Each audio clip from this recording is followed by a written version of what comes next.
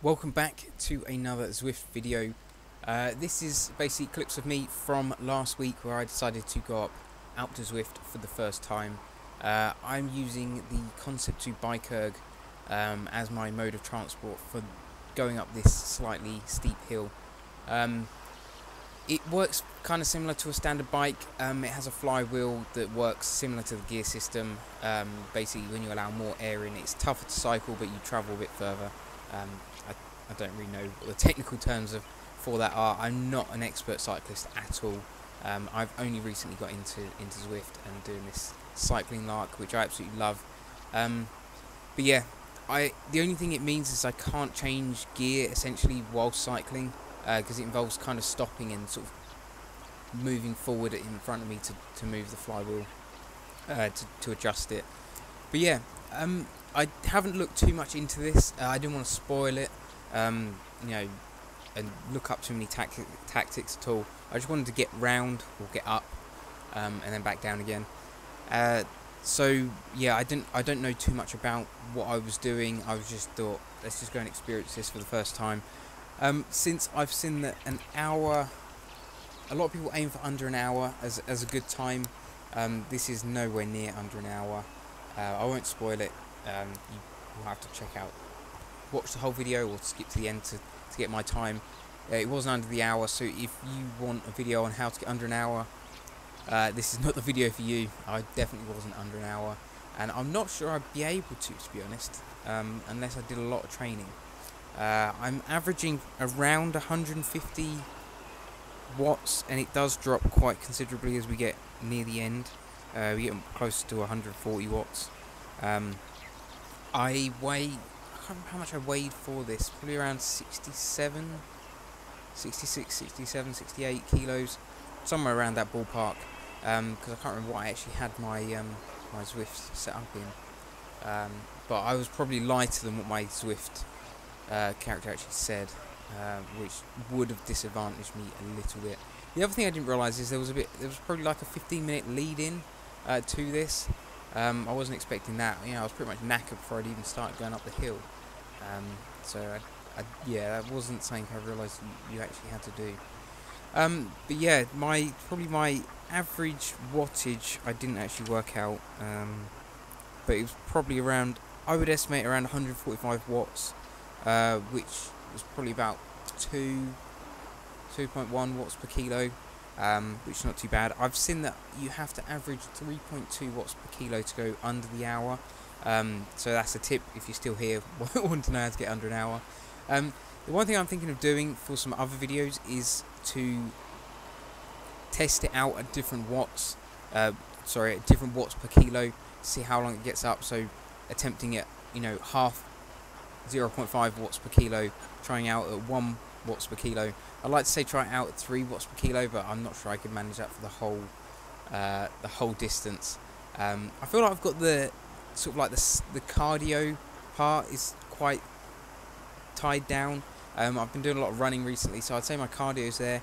It's just my leg strength is not there, and my you know my muscular endurance in my legs, uh, just to be able to maintain that sort of uh, leg speed and power um, because that's again I'm no expert as I said earlier in cycling. I'm not sure if my uh, RPM is good or bad. It sits around 60 uh, that's how I was trying to keep it. Um, I can't remember what level I actually had it on on the Concept 2 it was probably about 7 or 8 um, pretty sure much higher than that and I'm just not getting any sort of you know speed up at all um, in my legs and they just end up cramping. Um, yeah. Overall, in terms of how the Concept 2 did, I would say it did better than I thought. Um, I thought it was going to be a bit tougher. Uh, but again, as I said, I'm I'm no expert in how you're meant to tackle this. I will probably look up some videos um, for if I was going to do it again because uh, I want to beat my the time that I had done. Because um, I'm not sure whether you are meant to adjust gears as you're going up. You I don't know whether that's something you're meant to do or whether it is fine to just stick at a high gear, low gear. The other thing I didn't really check out is whether I had the right bike for this um, in terms of in, in-game bike. Um, I meant to check, I really did mean to check before um, to see if I had the, the optimal bike for this. Uh, so that'd be something quickly and easy to change um, to help beat my time if I were to do it again. So we've just got up to corner 8, uh, 449 I believe for that one, uh, not too bad. I definitely preferred this, the shorter ones, um, the, like the shorter corners and the shorter turns. Um, there was one that took me, what was my longest one? 8 minutes 21. I hated that corner. I think it was number 6. It just seemed to go on and on and on and on. And, and the other thing I didn't realise is when you get to the last one, to on the screen, I think it says uh, 0.54. I didn't realise after that there's then another one. You you haven't actually finished. All I was trying to get to was finish 0.54 and I'd be done. And I could just, you know, cycle a little bit more and then go straight back down the hill. I didn't realise that was not the last point and you still had, I think it was like 700 metres to go. Um, and yeah, I hated the, that 700 metres as well. It was absolutely dreadful. So yeah, there's a lot to, um, to take in, a lot to sort of hope, hopefully improve on. I'm generally cycling every other day. I um, tend to do an hour. I tend to do like a zone two, so I'm not I'm not full pelt cycling. I'm probably sat at about one and a half watts per kilo, usually as a maximum. Generally between 1.2 and 1.5 watts per kilo for an hour. Um, I sort of do that once a day. I'm sorry, not once a day. Every other day, and then I also do every other day. I do uh, an hour's worth of rowing. Um, and sort of another app that I use is uh, XR, which is basically the rowing version of Zwift. Um, they just haven't got quite as many users on there. Um, and they're meant to be adding a racing feature, which is meant to be similar to Zwift, Uh, but this, some reason, is taking quite a while. Um, but yeah, I will hopefully be making videos on that when that comes out. As we go past corner number two, 3 minutes 40, uh, average heart rate 154 average wattage has dropped to 140 for that one, which is not good at all. Um, it was kind of annoying. My some some of the time I was, I was thought, oh, you know, I'm getting quicker. I was looking at the wrong, I was looking at the wrong side because my watts per kilo and my um and my um what is it heart rate were kind of roughly similar. So uh, sometimes I did catch myself looking at the wrong thing.